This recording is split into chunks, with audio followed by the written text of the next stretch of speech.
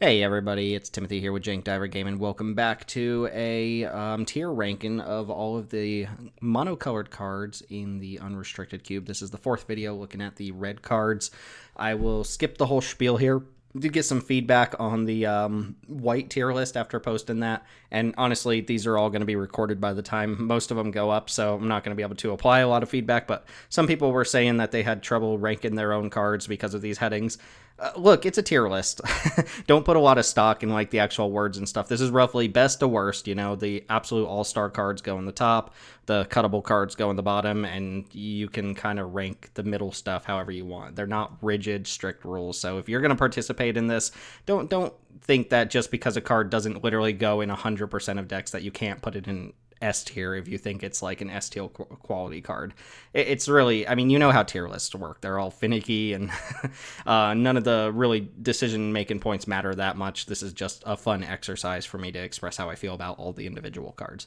Um, also, got the feedback that it might be just a little bit too long at an hour, but talking about 51 cards, a lot of this is for me to kind of catch up with my own thoughts. So, you know, regardless of whether people watch through to the end or not, uh, or skip ahead just to see the final tier list. Like, I enjoy putting this sort of content out there, if for no other reason than it lets me kind of give all my evaluations and, you know, consider where I'm at with everything. So, we are going to look at red cards before we do. As always, like, comment, and subscribe to the YouTube channel, and you can support us by joining our Discord, which is linked down below, and either giving your own feedback on our cubes, um, hanging out and just giving us, uh, you know, your best draft tips for the latest draft format, or actually joining us for a Sunday night unrestricted cube draft or a Wednesday night peasant cube draft. But enough chit chat. Had the same spiel for four videos now. Let's go ahead and rank the red cards in the unrestricted cube.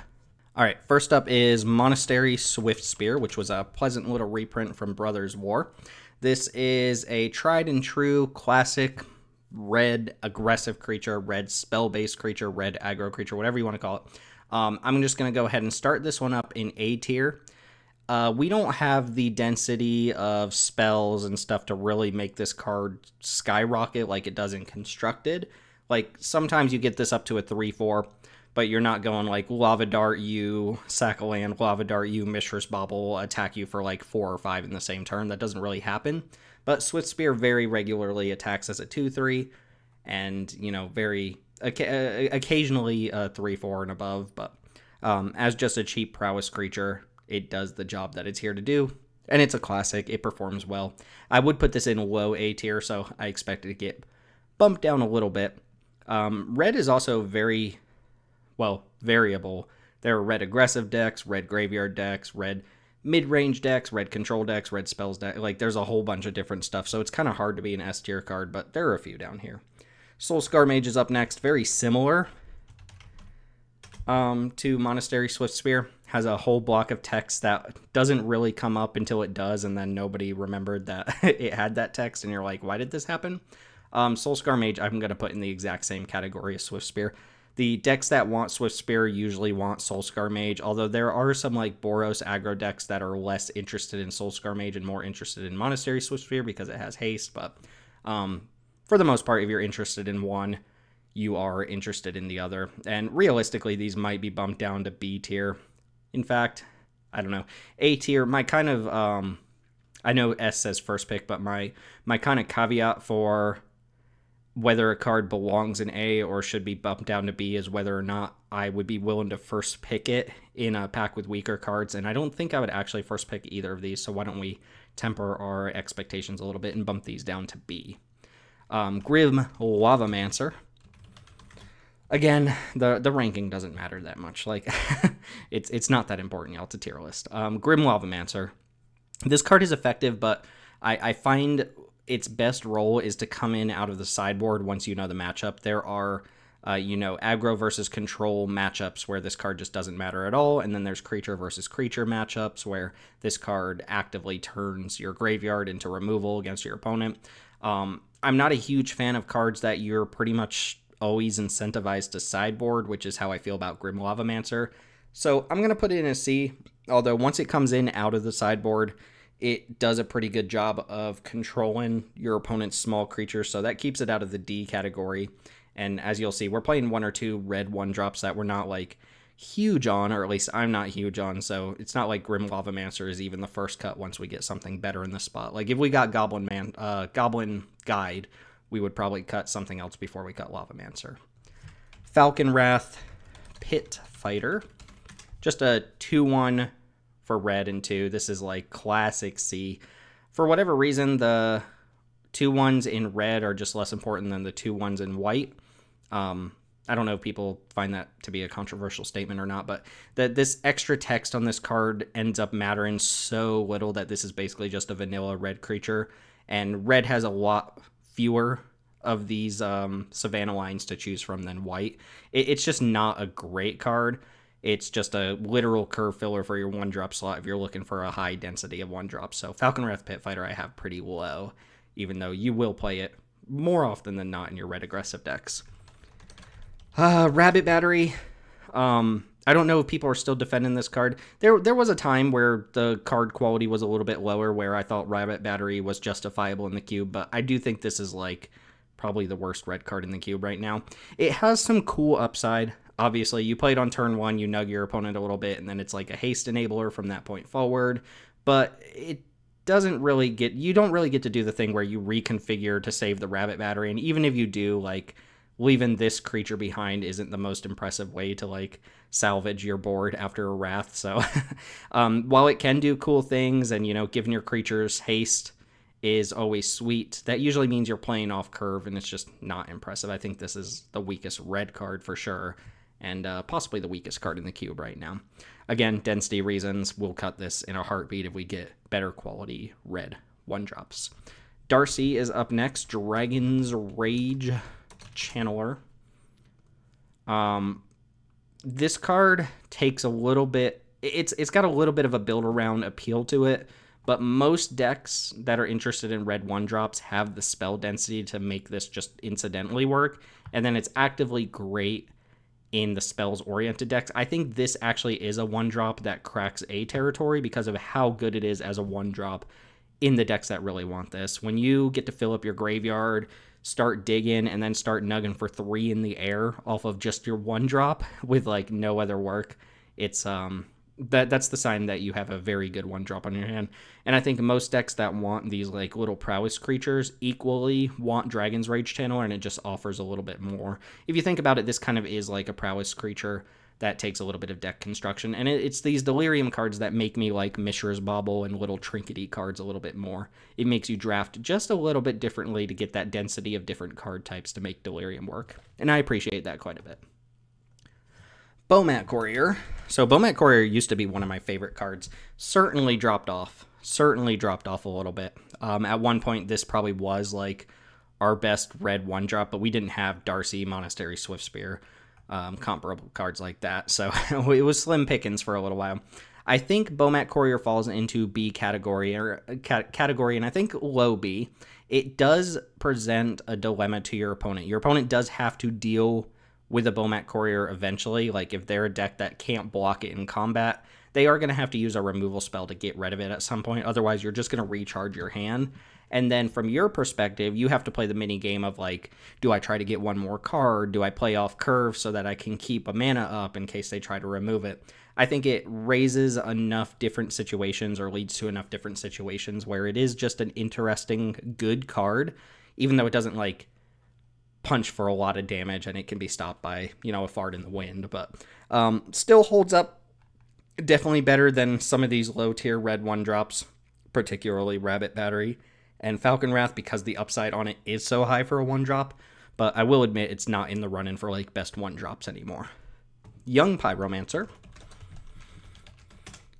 Young Peasy. Um, we got this card from a jump start thing. In fact, we had an early rule in our cubes that we weren't going to play cards that were released outside of just normal standard draftable sets and then they released Jumpstart that had like the Blood Artist and Young Pyro, and we're like, we would be missing out on a lot if we didn't include cards like this. So we we um, trashed that rule, and now we're open to basically anything that's been printed on Arena. Young Pyro um, is just a spells matters card through and through. I actually think it's in B territory. In fact, I think Young Pyromancer is like slowly dropping down the ranks, but as a spells payoff, we still want a few of those. In fact, we, we still have quite a few of those. But uh, I think it's decent. I actually almost want to put it below the prowess creatures because there are just games where the fragile body gets dealt with, the tokens all get swept up at once with the young pyro. The way this was described to me when I first started playing Magic and Pyromancer was like a big deal in Legacy. Um, I didn't quite understand why making a bunch of one ones was that good, and somebody described it to me as a you know, it's the best way to turn a bunch of spells into damage. You know, you you fill a deck with just tons of instants and sorceries, and the question is, well, how are you actually winning? Well, you have cards like Young Pyromancer that convert those spells into damage.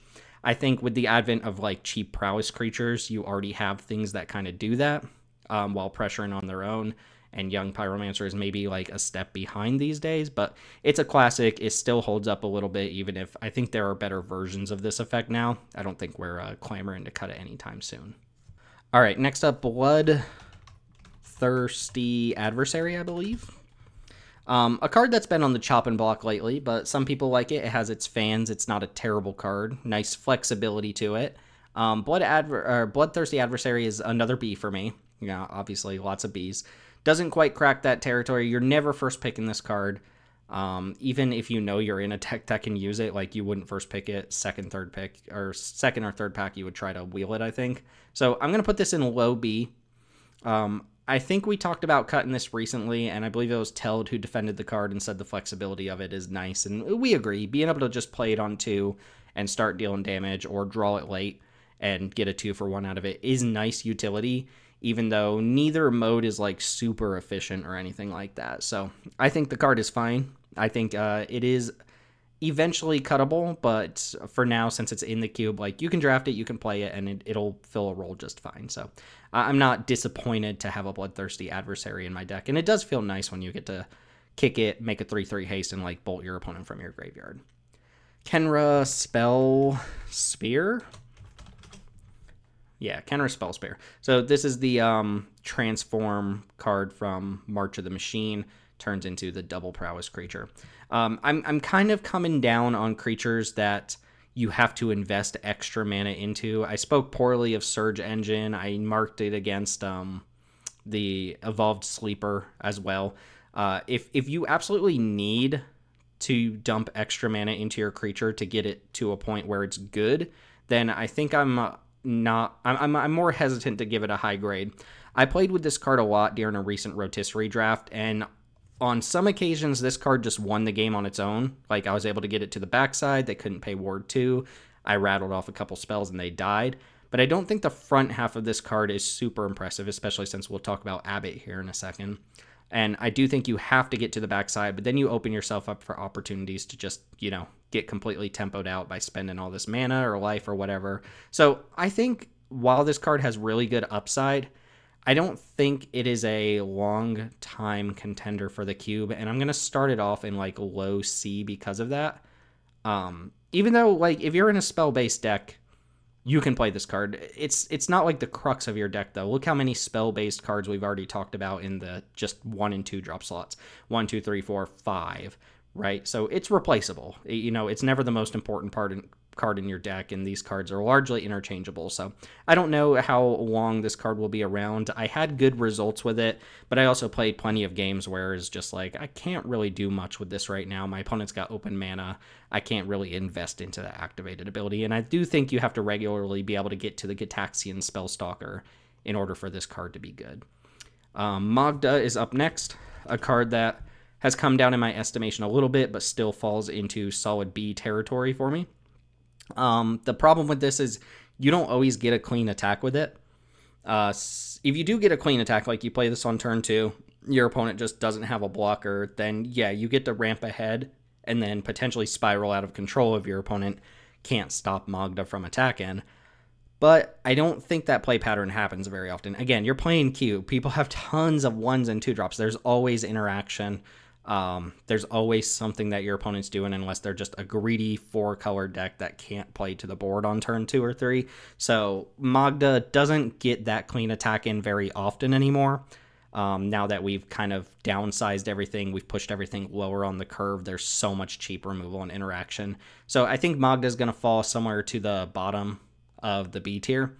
Um, still a good card, still perfectly fine. Just it has a lot of text that ends up not mattering. One of my favorite things to do with Magda is use it to crew Reckoner Bankbuster because it gets you a treasure without actually having to attack with it. So that's nice. Kari Zev. Kari Zev has been around for a while for us, and I think it holds up. Um, Kari Zev is one of, in my opinion, one of the best red aggressive creatures. Um, so much so that I'm going to put this in A tier and maybe that's wild to some people to put Kari Zev over some of these other cards, but you don't have to put in any work for Kari Zev as long as you care about reducing your opponent's life total to zero. Kari Zev is a good card for you. It's essentially like a 3 3 first strike menace divided across two bodies, and sometimes you have ways to use the Ragavan body before it goes away. It's hard to block the important part of this card and it just pushes through so much damage. Um, I've been everybody's been very successful whenever they put a Kari Zev in their aggressive deck. It's one of those cards that you just curve into it. Your opponent thinks they're blocking your two drop, and they just don't have an answer for it because of menace. And then you know what are they going to trade their two drop for the Ragavan token that's just going to come back? I don't think so. So Kari Zev, always impressed with this card. Um, think this one's sticking around. It's one of our better aggressive two drops. Abbot of Keral Keep. We just got this card in an anthology. Um, I haven't seen this card in constructed in quite a while. I know it was a big deal when it first came out and has dropped off significantly, but we just got through talking about the spell spear, right? There's young pyromancer. There's plenty of these two mana creatures that fit in spell based strategies. And Abbot of Keral Keep just has the ability to be a straight up two for one and draw you an extra card. There's a little bit of a time in restriction on it, but as a creature that can draw you into extra spells and also is a benefit for casting extra spells, I think it's got to be pretty high up on the tier list. I'm going to go ahead and tentatively put this above all of the other spell based, like prowessy creatures because it just straight up draws you a card majority of the time. And maybe there's like blink strategies and stuff that can even take advantage of this, but um, I think it's comparable in terms of its damage output to all these other cards. And the the floor of like almost always just cantripping on ETB is a really good spot to be. Earthshaker Khenra. Uh, red has a red has pretty flat power level here. lots of bees, lots of bees. Um, Earthshaker Khenra. So this is a tried and true aggressive card as well. It's not in that spellsy kind of category. It's more in the like just aggro Kari Zev Magda category. Um, it's like a flat out bee, not the most impressive aggressive creature you can get. Never that bad gives you some um, incentive to play like graveyard based stuff because of Eternalize. Two for one, just naturally. Solid B, like exactly in the middle. I will go ahead and put it above the Bomat Courier, but below the spell based stuff. Um, because it is replaceable, but it's very good when you do put it in your deck. All right, that leads us into Arcanist. Banned in Legacy, possibly the best two drop ever printed. Uh, Orcish Bowmasters has something to say about that. Um, Dreadhorde Arcanist. So here's the thing about Dreadhorde Ar- Arcanist. This is not a necessary part of the cube. In fact, th- this is like what I mean when I talk about experimental. It's a strong card if you build towards it, but you do need a very high density of one mana spells in order for it to tick. And even then, if you shape an entire deck around this card, and you either never draw it or your opponent kills it on sight or they have like incidental graveyard hate, it can be extremely lackluster. So it's one of the cards in the cube that requires you to do a little bit more than just draft powerful cards and I like that. I'm not putting it in D because it's a bad card. When you build around it, it's a really strong card. I'm putting it in D because it asks a lot more of you than most of the other cards that are just like generically powerful. You can't just put Dreadhorde Arcanist in a red deck and expect it to do something. You have to actively draft like six, seven, eight one drop spells. I do like that you can put this in red blue or red black. Um, I suppose there's probably a reason to put it in red white every now and then if you have like swords to plowshares and stuff like that. But being able to flashback like a fatal push or Thoughtseize in black is just as good as being able to flashback like a red removal spell in red. So um, I think there will come a time where we decide to go ahead and nix this just because it is a little more situational than the other two drops. But it is a really fun card for now, and we're not really um, going out of our way to get rid of it. There's other two drops we can mess around with, like this next one Dragonkin Berserker. Um, I talked about Sungold Sentinel in my first video, in the white video, and how that card comes in and comes out and comes in and comes out. And every time we have a two drop slot open and a placeholder and there's nothing that we immediately want to play, we're like, why don't we test this card out? That's basically exactly where I am with Dragonkin Berserker. I'm not going to put it in D because it is actually a decent card on the battlefield. It has that whole like army in a can thing where you can actually just win the game off the back of this card sometimes. But as a two drop, it's like just a decent little two drop. Nothing wrong with it at all. And, uh, you know, it's just not pulling a particular strategy. It's not saying, it's not, it's not encouraging you to do anything other than just like attack. And sometimes that's, sometimes that's fine. So I think it's realistically like right here. If you're red aggro, you'll just play the card and you'll be reasonably happy with it. But um, you could go an entire draft, never see the card, and not even think about it. All right, chugging along. Red three drops tend to be very good these days. It's always a hard sell to cut a card for a new red three drop. Uh, Reckless Stormseeker is the werewolf. Again, I hate Daybound, Nightbound. Thankfully, this card is like just as powerful on the front as it is on the back, or at least obviously the back half is more powerful, but like the the center of the power is on the front half of the card. It's just an amplified version on the back. So as a like baseline three mana three three haste, this is a decent little card. And then sometimes you play this, smash your opponent, play a four drop, give it haste, smash your opponent. It, it does lead to some pretty ridiculous curve outs for Gruul, which happens to be like one of the best color combinations at the time. So got to rate this one a little bit highly. I still don't think it's A tier, but I will put it at the top end of B. I think Abbot is just super, super good. I might be wrong about that, but let's go ahead and stick it up at the top here. Just very powerful.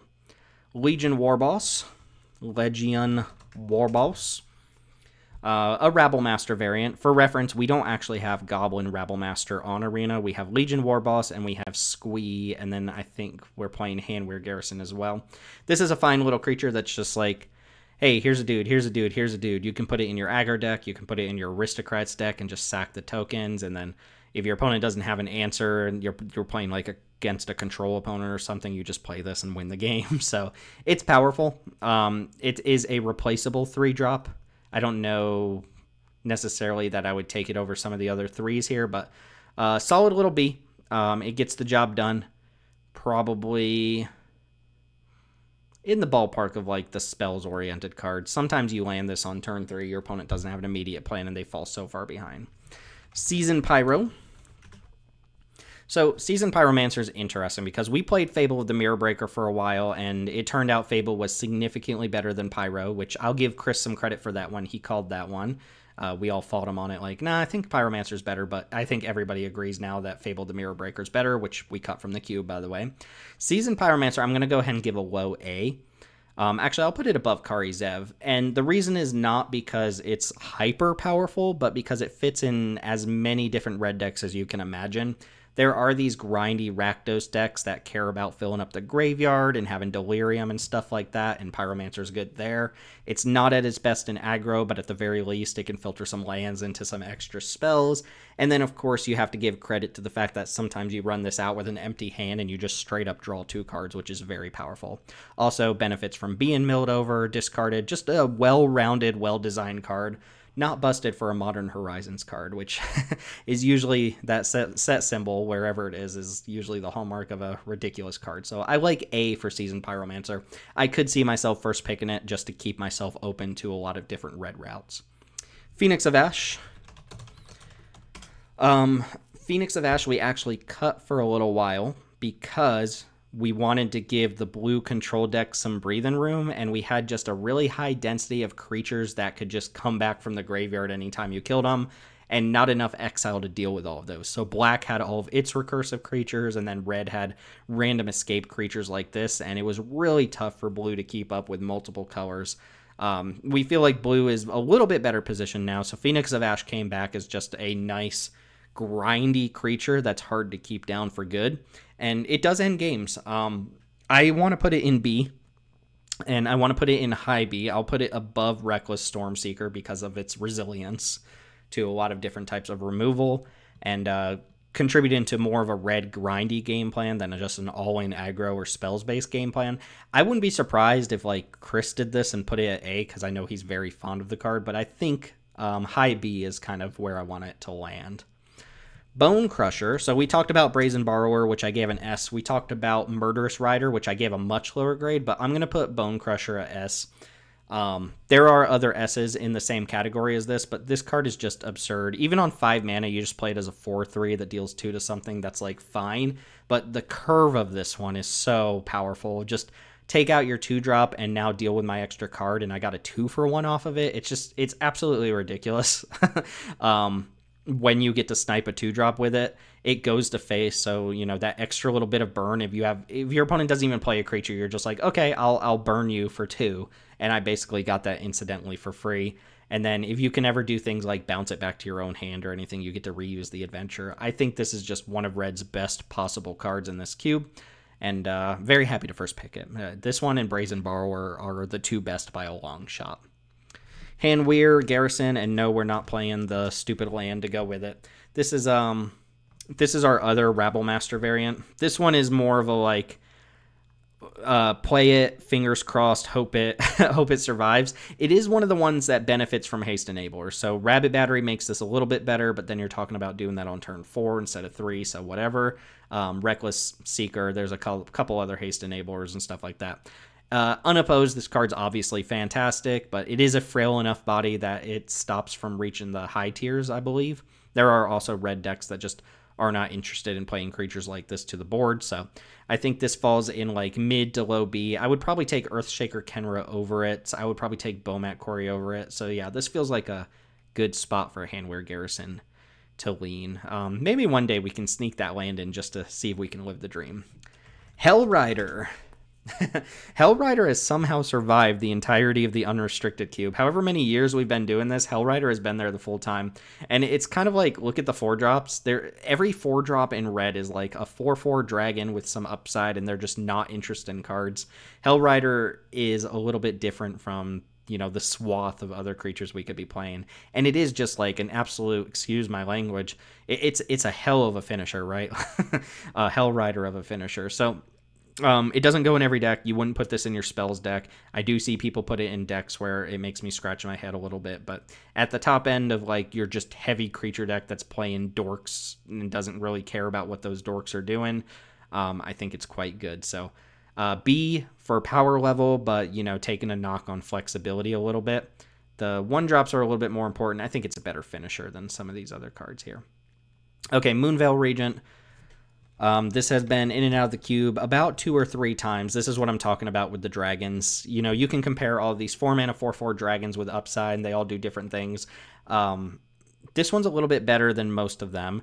It does have the potential to just do like really powerful things in decks with super low curves, where the idea is you you use this as the last card in your hand, and then you cast a spell, draw a new card, cast a spell, draw a new card, and you just kind of like storm off with it. It's also just like dies to Doomblady and you get some damage on the way out. So while I think it's good, I don't think it's that impressive. Everything I said about fours and five drops during this series is true for this card. You just don't need that many of them.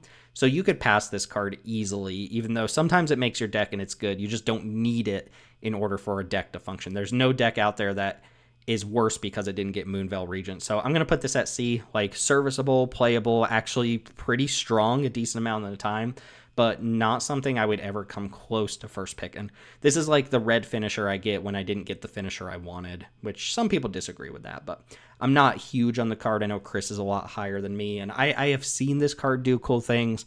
I've also seen it be like pretty miserable against some very efficient removal or exile effects and stuff like that. Rekindling Phoenix.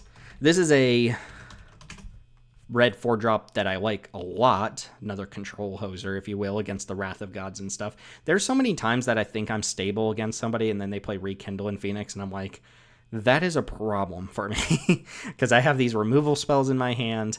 I'm going to either have to two for one myself or just have to find an answer for Rekindling Phoenix every turn for the rest of the game. I like it a lot more than Moonveil Regent. I think it's a much more flexible card, even though it is kind of like a Gruul card. You could theoretically put this at the top end of like your red aggro deck, even though there's a lot of competition for like Boros four drops. Pretty much any four drop will do. I think Hellrider is the best for specific specifically aggro. I think Moonveil is the best for specifically a spells based deck And this is just like a stompy creature. If you can play a two drop mana dork and then a turn three rekindling phoenix, your opponent's in a lot of trouble. So I'm gonna give this a nod over the regent. I don't think it's an untouchable card though. Like we can absolutely get rid of it if we need to. Um, let's put it below Hellrider. Actually, it goes in more decks than Hellrider. This feels right. Yeah, that feels good.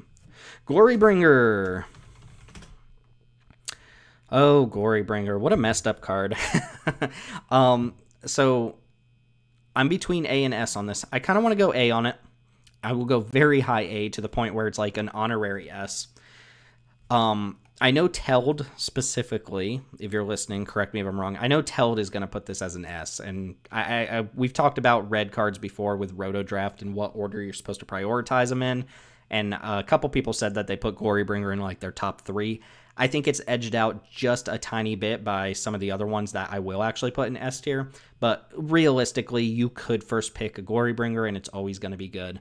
Uh, it's it's hard for this card to be good. This is part of the reason we don't play a lot of red five drops like Goldspan Dragon and stuff like that is because Glorybringer kind of has a monopoly on good red five drops already, and anything by comparison is just obviously worse. So I'm gonna put it as like the topmost A card, um, even though I, I wouldn't fight anybody if they put in an S.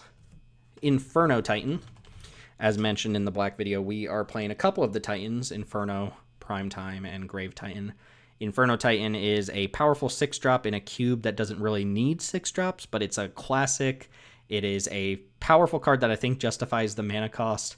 Um, we will see how important it is. Six drops, I, I have learned my lesson at this point that no matter how powerful the card is, once you get to six mana, seven mana in a non ramp color, you're talking about a card that people uh, just won't play a decent amount of the time. Now, I think Inferno Titan has enough of a pedigree around it that people will play it because it's a classic card, but I could see this just not panning out because its mana cost is so high in a cube where you're playing just so many ones and twos and efficient threes and they're efficient answers. So Inferno Titan is I want to put it in A, but I think my expectation is that it's like a mid tier B and doesn't get drafted a decent amount of the time. So I'm gonna stick it exactly in the middle of B. All right, Bedlam Reveler. So I keep referencing this um Reveler. I keep referencing this roto draft we did where I kind of went really hard on blue red spells to try and enable cards like this, and Bedlam Reveler was one of the more disappointing cards. If you go back to the blue video and you listen to my thoughts on Thing in the Ice, I feel very similar to Bedlam Reveler. I found a lot of situations where it was hard to cast this card for less than four or five mana, just because even though we have a bunch of one mana spells, we still don't have such a large quantity of them or mill effects and stuff like that to get this card down to like two or three mana regularly. I found that every time I cast it, I usually actually had to pitch cards from my hand that I wanted to keep, but I was kind of priced into playing this just to get something on board. So I think this card is a little bit unimportant at the moment. Um, very similar to Thing in the Ice. It's fine, but it only goes in one deck, and people fight over the cards that make that deck tick. So um, I think this one probably needs to be in the conversation for coming out just due to how rigid it is. Um, if it went in more decks, we could talk about it, but it's really a blue red spells deck, and the that that deck has tons of support already. So not not a necessary card. Chandra, Torch of Defiance. This card won me money at a GP. Um, this is an S tier Planeswalker there was a lot of discussion at one point about whether or not we take this card out because it's just like the obvious pick over so many other things when you see it in a pack. I think it's okay to have a couple cards like this, especially. I mean, this is what you want your top end to look like. Chandra's a very powerful card, but it doesn't single handedly decide games. Um, it can if you've got the right support and cast, but like any other planeswalker, like a Sorin or something like that, um, it just it is a multifaceted, diverse card that fills a lot of different roles card advantage, ramp, removal, an emblem that can win the game if you get there. It's a powerful card. It's the top of red stuff. It goes in a lot of different red decks. Pretty much any red deck I've talked about in this video already can slot Chandra into good effect. So at the very least, it gets um, the nod for being a first pickable card that can go into multiple different decks, but I think it's also their own power level. So um, I think hmm, Bonecrusher versus Chandra is like so close that I'm willing to just call them tied. um, Lightning Bolt is up next. I'm typing in lightning bolt for people who are watching a Magic the Gathering video as though they don't know what lightning bolt is. Um, S tier, but low S tier. If you don't get a lightning bolt, you can supplement that with, you know, a lightning strike or a shock variant or something like that, and you'll probably be fine. But I don't want to understate like how much better three damage for one mana is than three damage for two mana or two damage for one mana. You know, Lightning Bolt is the king of what it does. There was some discussion about Roto Draft because Lightning Bolt almost always gets picked in the first round or second round of Roto Drafting. And there was some discussion about whether people were picking it too highly. I think roughly these four cards here, plus Fable the Mirror Breaker, are in the conversation, and however you value those uh, you can pick or choose. So I don't think it's wrong to value Lightning Bolt higher than these. I don't think it's wrong to value Chandra higher or Glorybringer or Fable. Fable should probably be number one, but um, Lightning Bolt is significantly better than a Shock variant uh, by by a wide enough degree that um, I don't think it's correct to say that like you you shouldn't be first picking Lightning Bolt. It's just very powerful. It gives you a lot of flexibility. Um, play with fire. Shock variant Here's where we get to the uh, oh, all of these cards are roughly the same segment. um, Play with Fire is a shock with like the most minor upside we can think of. Shock is a fine card, notably worse than Lightning Bolt, but still just like decent removal. Uh, one mana spells also get a boost from a lot of different things, like your Bedlam Revelers, your Dreadhorde Arcanists, just anything that cares about casting spells or filling up the graveyard is going to care a lot about one mana spells, even if they're not the most efficient lightning bolts out there. This is like a high B, like a shock is a shock. The removal spells are going to take high parts, uh, high points in each of their categories, and they're all going to be roughly close. It's kind of hard to have a D level removal spell, but maybe we find one. Um, Unholy Heat design mistake uh, has modern horizons. Uh, if you ever see a card and you're like is this a design mistake? Look at the symbol and see if it's from a modern horizon set. Because odds are it's it is or its name is a bowmaster. This is a level removal and i think very high a level removal. Probably the best red removal spell behind lightning bolt because this one if you put in any amount of work to get delirium can clear out the biggest creatures in the cube besides like uh, titan of industry you know? And it hits planeswalkers which is pretty huge uh, this card was a saving grace for me in that recent roto draft because it let me clear off things like Vorinclexes and stuff like that that I couldn't kill with my normal like cheapy removal spell. So Unholy Heat doesn't really make a lot of sense from a design perspective. I think there's an alchemy version that only deals four damage with Delirium, and that feels more appropriate. But yeah, let's throw a six on there. That makes sense. um, best red removal spell behind Lightning Bolt. Uh, this is Flame Blessed Bolt, I believe. Yeah, so this is a shock that doesn't hit players, um, but exiles the creature instead. Anytime you have a burn spell that can't go directly to your opponent's face, it's going to get a lower grade than the ones that can, even if it has some different upside. So, I mean, it is a shock. Shock is fine, but I'm going to put this one below like the spell's payoffs because it's one of the more replaceable shocks. And exile is nice. Like there are things that come back from the graveyard, recursive creatures, so it's great to have some exile floating around, but we don't want too much of it. Part of the reason we passed on the Smite the Deathless card from Lord of the Rings is that we just didn't want to overload on exile effects. Lightning Strike is another strictly worse bolt. It is a bolt for an extra mana, but you know what? Bolt is hyper efficient and Lightning Strike does a good job. I'm going to put this at the bottom of A. It's just the next best thing to Lightning Bolt, really. Um, if, when you're talking about all the two mana like deal threes, I think Lightning Strike is just the best. Goes to face, instant speed, no stipulations on what it can target. It's just obviously better, I think. Abrade is up next. This is not the uh, Abrade art that I prefer, but um, that's the one that came up. Abrade is this, this is honestly like probably low B to C territory removal. It's still going to kill a creature, but it doesn't hit planeswalkers, which is always a plus for a red removal spell or red burn spell. It doesn't hit players, doesn't hit planeswalkers, and destroying an artifact is not super impressive. We've talked a little bit about that in other videos, how it's nice to have a couple safety valves, um, like things that can destroy artifacts and enchantments so that the good ones like Great Henge don't just uh, go completely rampant. But um, it doesn't come up enough that like Abrade is an all-star card. The flexibility really matters. This is basically just another lightning strike, but a more stringent one that like 10% of games just completely destroys your opponent's like Wurmcoil Engine or something like that. So, not that using Abrade on Wurmcoil is even that good. So, passable removal spell if you need a removal spell, but one of the more unexciting ones. Volcanic Spite.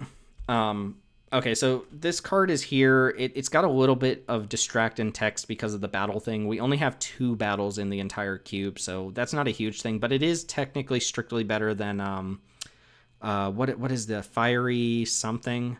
Fiery Impulse. I don't I don't know what the name of the card is off the top of my head, but the one that does the same exact thing as this without the battle text. We were playing that card. This is a strict upgrade to it. This is another abrade variant. You know, it kills a creature, it hits a planeswalker. It can hit a battle, but I don't think that's ever really happening.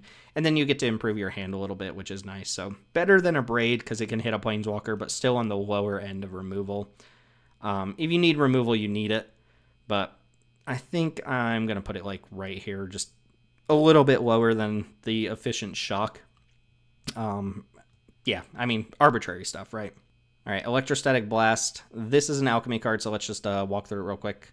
Uh, two mana, deals two to any target. When you cast your next instant or sorcery, period, exile the top three of your library, and you may play one of those cards. Easy to forget about this. Uh, this is one of those cards that, like, if you printed this text in paper, it would just work. The only problem being that there's like a memory issue since this doesn't last until end of turn. It's just the next spell you cast, the next instant or sorcery triggers it. So you might like not cast an instant sorcery for three turns and then forget that this effect was in play. So that's why it's a quote unquote digital only card.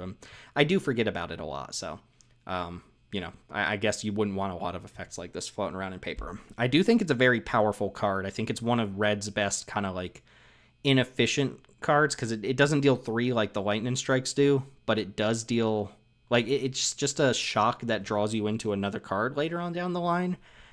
And it has some sequencing problems with it if you've ever played with it, but it is powerful. The upside is there. You don't need a ton of instants and sorceries to justify playing it. I almost want to put it in A tier because I think it actually plays out like that. You know, kill a creature, draw a card is just incredible for two mana. And this doesn't kill every creature, but even if you have to double up two removal spells and then you get your card back at some point, it kind of makes up for the fact that you had to two for one yourself. So yeah, I'll go ahead and stick this in low A. I think it performs extremely well. It's also an easy way to get double prowess triggers on some of your red creatures. Stoke the Flammies.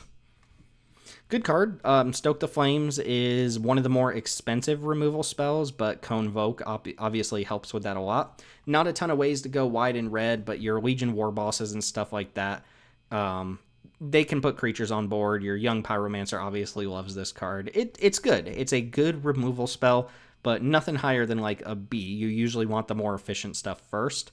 So let's just go ahead and stick it right below the, the Shock and the Lightning Strike variant. That feels like an appropriate spot. Faithless Looting. So, oh, oh no, you know we have to. You know we have to. There we go.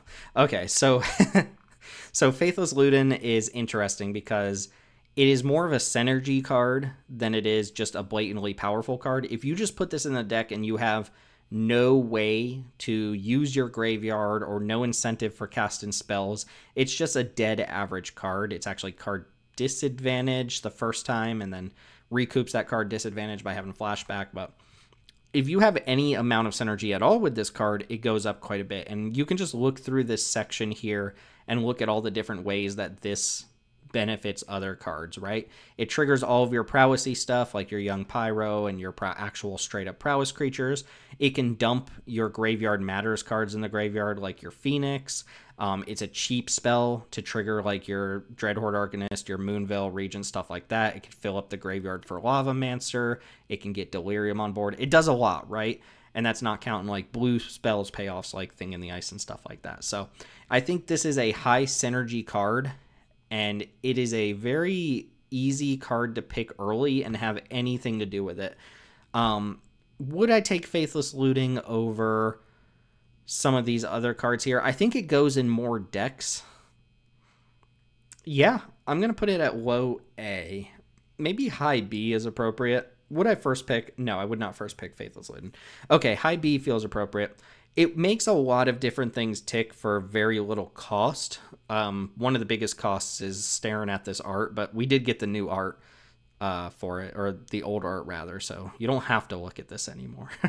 um, yeah, I, I, don't think I would first pick Faithless Looting, so that's going to go ahead and bump it down to B for me. But I think it's a nice little glue card for a lot of different strategies. It's just easy to pick up and find something to do with it. Strangle is up next, one mana for three damage. Um, hard to argue with Strangle. I think this is going to be like A tier removal. It's not Lightning Bolt. It doesn't go to face, but it does kill, you know, way above its um, casting cost. Like this, this kills one drops, two drops, three drops very easily, and then occasionally kills like some fours and fives. So I think this is just solid removal. It's not as good as the best possible removal, but it, it does a fine job. It's efficient. Pillar of Flame is another shock variant. This one is a sorcery, but it deals two damage to anything, so you can hit walkers. You can hit battles if you want to hit battles, and it exiles, kind of like the Flame Blessed Bolt. So, sorcery speed, this is kind of like in the same exact category as Flame Blessed Bolt. Uh, probably just a little bit lower. Lower because it's not an instant, higher because it hits players if you need it to, but I value instant over sorcery enough to kind of make this the divide. Wren's Resolve. Um, this could also just be Reckless Impulse, by the way, if you prefer Reckless Impulse. Uh, we just changed it over because we think this art's pretty cool. So, um, Reckless Impulse or Wren's Resolve is just a decent little red draw spell. In fact, let's talk about Light Up the Stage at the same time because they have the same effect. There's uh, they're both exile the top two, and you can play them until the end of your next turn. Uh, basically the same card. Light up the stage is more expensive, but in a deck that can consistently deal damage, it's least less expensive. Wren's Resolve, I usually give the nod over Light Up the Stage because every deck can use a Wren's Resolve, but Light Up the Stage is usually cornered into aggressive decks. Like you could put Wren's Resolve in a Gruul deck or mid-rangey deck or a spells deck that doesn't have a lot of creatures and just use it as a draw to. Light up the stage is just a bit too expensive at 3 mana, so you really need to make sure Spectacle's going. These are decent little draw spells. Um, I actually think I'm coming down on Light Up the Stage the more that we get just incidental card advantage. Cards like Abbot of Keral Keep that add to the board or play with the board and give you some sort of advantage kind of edge out Light Up the Stage over time. So I'm going to put Light Up the Stage down in C and Wren's Resolve in like low B. Usually decks that need card advantage have card advantage and don't necessarily need these effects, but they're they're fine. They do a good job. On, on obviously, if you're always an aggro deck, Light Up the Stage is like somewhere up here because it's so efficient. But you do end up in decks where you can't get Spectacle reliably, and that knocks it down a fair bit for me. Um, Obliterating Bolt is up next. Uh, four damage to a creature or planeswalker, exile it. We used to go back and forth about whether we liked Lava Coil or Thunder and Rebuke. One of them exiled, one of them hit planeswalkers, and then they printed this, which is just the best of both worlds. So uh, that solved that issue for us. It also punches up to four drops. The fact that this is a two mana spell that kills a lot of greens, four fours, and stuff like that is very nice. Even kills five drops like Glorybringer, but you already died. So I think this is a high pick removal spell um, it doesn't go to face, but I do like that it kills most of the creatures in the cube that aren't just giant green creatures. So I'm going to put it above play with fire here and just stick it at the top end of B. Incendiary Flow. Incendiary Flow. Here we go. Um, fine card. It's it's it's another bolt variant. Like, uh, I'll just put it below Volcanic Spite. It's not an instant, but it can hit players. Actually, hitting players for three is a pretty big nod. So let's just go. Let's go here. Being able to hit players is huge when it's an actual bolt instead of a shock. That that's just sometimes the difference between killing your opponent on the spot and needing one more spell to send to their face. But um, it doesn't hit planeswalkers notably. Actually, this one might have been errata. Let's let's look at it. It might hit any target. Yeah, it does hit any target. So yeah, uh, significantly better than a lot of these other things. Um, the fact that it goes to face, I think, gives it the nod over Obliterating Bolt, which deals more damage but doesn't hit opponents. Royal Eruption, another Bolt. Look, the, these cards are all the same card. we, we can argue back and forth. I'm going to put this one directly in the middle because even though um, it doesn't exile, even though it doesn't deal four damage, you can kick this card and just lava axe your opponent to finish off the game. So I don't know. You can rank these removal spells however you want. They're all kind of roughly in the same spot. Uh, Nahiri's Warcrafting. So this is an interesting one. I think um, we've had a couple people say this is mediocre, and it probably is.